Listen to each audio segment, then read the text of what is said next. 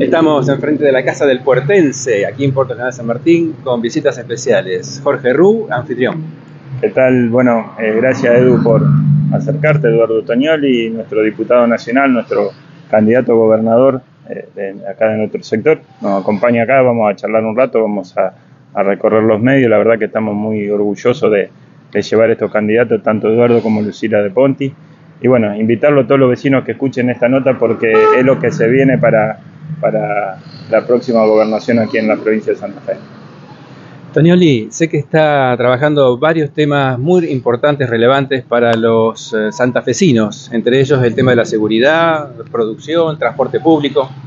Bueno, efectivamente, nosotros creemos que hay tres núcleos eh, importantes, eh, temáticos, que el Estado provincial debe atender con urgencia, con premura, y que son deudas eh, históricas que se vienen arrastrando y generando problemas cada vez más grandes. ¿no? En materia de seguridad pública, bueno, en las últimas horas hemos tenido un incidente aquí en Puerto General San Martín, eh, quiere decir que eh, la cuestión de la inseguridad, de la violencia urbana, ya no es potestad exclusivamente de Rosario, de Santa Fe, de nuestros grandes centros urbanos, sino que va derramando, ¿no? Derrama en el caso de Rosario a Villa Gobernador Galvez, eh, al cordón industrial, eh, y necesitamos una atención pronta de esta, de esta temática. ¿Qué venimos planteando nosotros hace reforma de nuestro sistema de seguridad pública, una reforma policial integral. Sin esa reforma, los niveles de violencia va a ser muy difícil bajarlo. También mejorar la investigación de los delitos complejos. La jurisdicción, por ejemplo, de Rosario y Zona,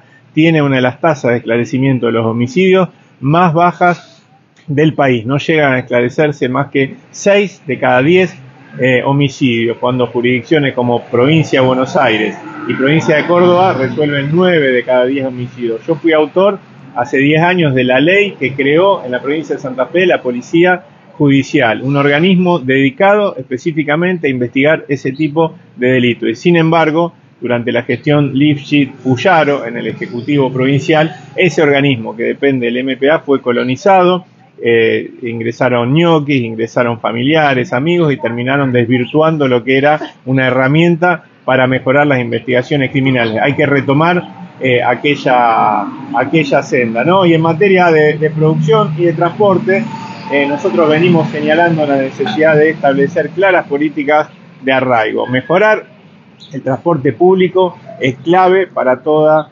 esta, esta región. Estuvimos reunidos hace algunos días con Jorge, con otros concejales y concejalas de todo el cordón industrial que nos transmitieron los reclamos frente a lo que está haciendo con el transporte Rosario Bus.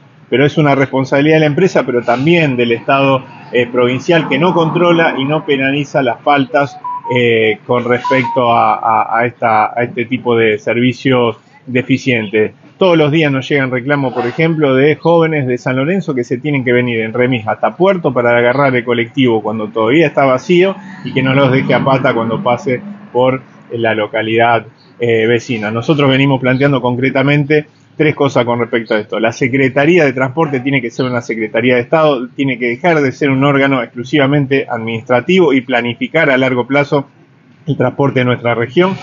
Eh, una nueva ley de transporte automotor de la provincia de Santa Fe, la que tenemos de 1935, hay que terminar con los permisos precarios e ir hacia la licitación, ¿no cierto?, de servicios estables y de calidad y después algo que para nosotros es fundamental que es recuperar los trenes de pasajeros.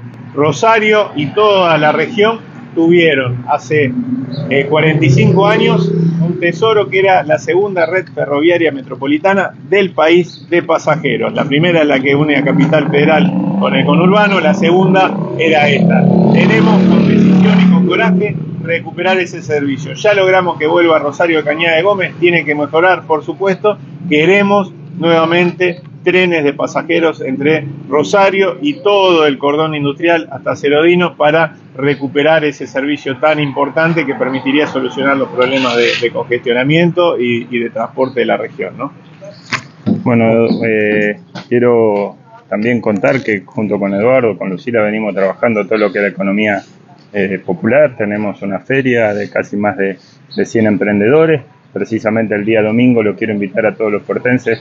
A partir de las 14 horas vamos a estar en la feria. con regalos para los padres, vamos a hacer una gran feria. desde ya te dejamos la invitación para que, venga a conocer nuestra feria que tiene anotado más de 170 artesanos y emprendedores de la ciudad, que eso también ha dado durante estos dos años pasados un, margen de economía popular para que cada uno de los portenses pueda llevar algo más a su casa, que de eso se trata este tipo de feria. Bueno, es importantísimo esto, ¿no? La posibilidad, por un lado, de generar trabajo, por el otro lado, eh, poder llevar a la mesa de los portenses, de las portenses, eh, alimentos sanos, eh, artesanías, productos de, la región, ¿no? Generar trabajo y mejorar el consumo y las economías familiares. Parte del trabajo que hacemos cotidianamente en nuestro espacio político tiene que ver eh, con esto, ¿no? Por eso también impulsamos legislación que tiene que ver con la economía social, popular y, y solidaria como una forma de mejorar la economía de los trabajadores autónomos y las familias en general, ¿no? Bárbaro, muchas gracias. Muchas gracias. Gracias.